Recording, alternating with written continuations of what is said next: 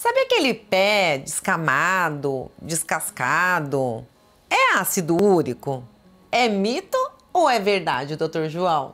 Olha, apesar da maioria das pessoas achar que pé descascado é ácido úrico, é mito.